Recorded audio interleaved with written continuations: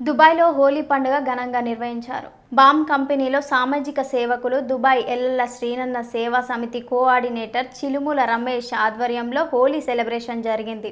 దుబాయ్లో ఉంటూ మన హిందూ పండుగలు అన్ని గల్ఫ్ కార్మికుల సంతోషం కొరకు ప్రతి పండుగను కార్మికుల మధ్యలో జరుపుకోవడం చాలా ఆనందంగా ఉంది అన్నారు. ఇందులో పాల్గొన్నవారు రవి ఉట్నూరి బాలు అశోక్ భూమేష్ దోనకంటి శ్రీను రమేష్ ఆరెల్లి క్యాంప్ బాస్ అశోక్ శంకర్ పండుగ రవి చంద్రగిరి రాజస్థాన్ సందీప్ పంజాబ్ హర్ మేనేజర్ మిసబ్ మెథ్యూ మరియు కార్మికులు పాల్గొన్నారు.